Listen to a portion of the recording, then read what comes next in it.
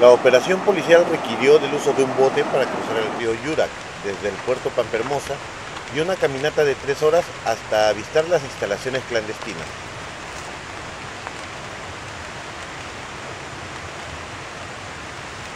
¡Alto policía! ¡Alto policía!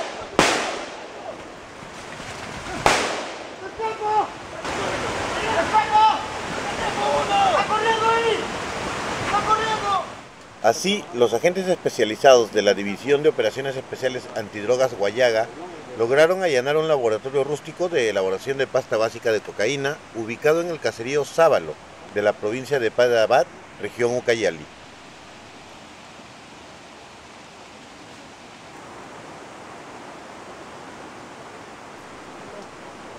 Fuentes del lugar indicaron a Inforregión que, durante el operativo, se logró capturar a uno de los cinco sujetos que pisoteaban la coca. El detenido fue identificado como Serapio Zulca.